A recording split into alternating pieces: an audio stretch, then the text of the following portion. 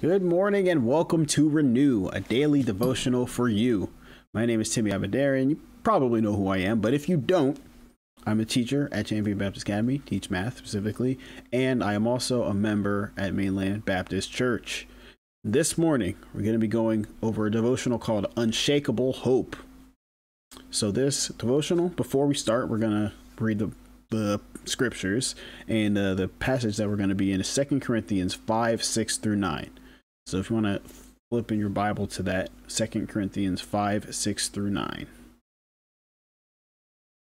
All right, so those verses say, Therefore, we are always confident, knowing that whilst we are at home in the body, we are absent from the Lord, for we walk by faith, not by sight.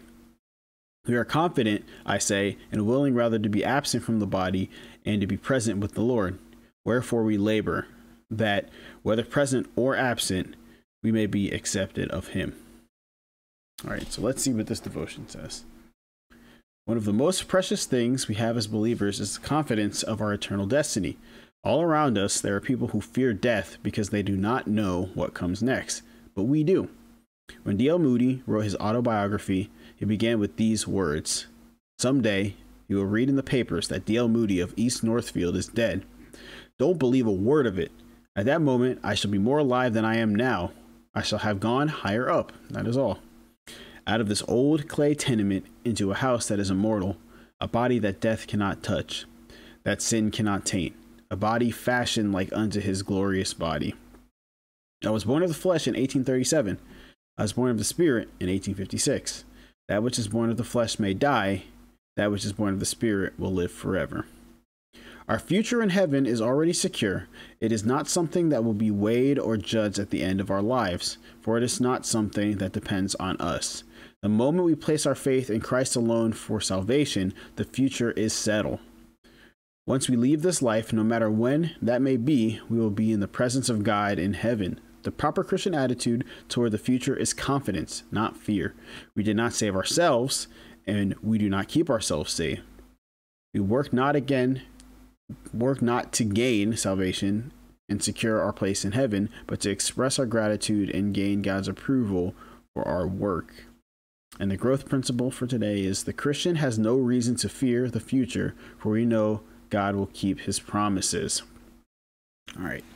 So, this devotional right here, you know, definitely fills me with a lot of hope just reading that quote Uh, that D.L. Moody said, talking about his own death. And it's it's easy to be a little bit unsettled when you're thinking about you know the future and, and death and i know for a lot of people especially like the devotional saying, a lot of unsafe people, death is such a daunting thing because those people that are, especially the people that aren't saved, they don't know what's coming next. You, you don't know what's going to happen. Um, you're worried about the people that you're leaving behind. You're worried about, um, you know, all, all these other factors. What's what's going to happen to you after you die, and you know, what what's after that. But we as Christians, we don't have to have that worry. We don't have to have that, you know, um, fear of death because we know, absent the body is to be present with the Lord. Uh, we know that when we're no longer on this earth, that means that we're in heaven with with God eternally. So we have that to look forward to. We don't have to go through all the you know the struggles that the earth has to give us, and we are you know eternally with Jesus and with God in heaven. So we don't have to have this fear. We don't have to be worried or disheartened.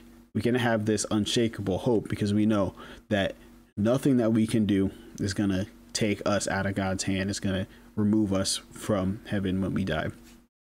So I think it's really important to think about as uh, we went over, you know, recently, maybe not recently when you're watching this, but recently when I re- when I recorded this, um, a study of victorious Christian living, and one of the things we were talking about is relationship versus fellowship, right? So our fellowship was represented by a like a wavy line. It has a bunch of ups and downs in it. And when we look at that, we can see that the fellowship it wavers, right?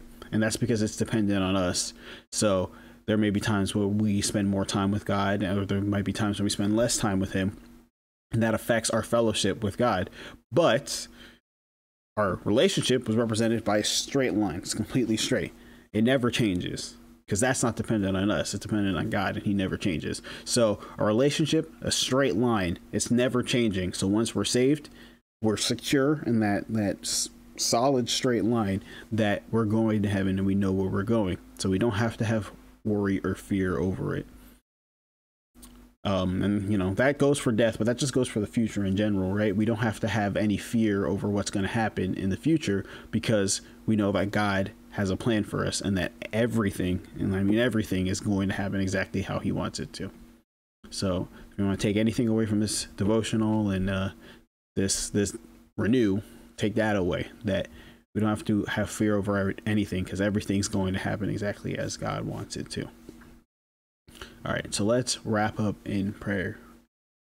Dear Lord, bless this day. Just uh, thank you for allowing me to go through this devotional about having unshakable hope and not having this fear in death or in fear in the future, Lord, because we have this hope in you and that we know everything's going to work exactly how you want it to. And then when it comes to the time when we, we pass on from this world, that we know that we can be with you eternally. And it's not based on our works, it's not based on what we do, it's based on our relationship with you that is never changing, Lord. Uh, just please help everyone that's listening to this renew to remember that and help me to remember that as well, Lord, as I'm going through my life. Um, and just bless the rest of this day. In Jesus' name, amen. All right, thank you for joining me on this renew. Uh, these go live every day, 805. Um, and I hope to see you on the next one. Bye.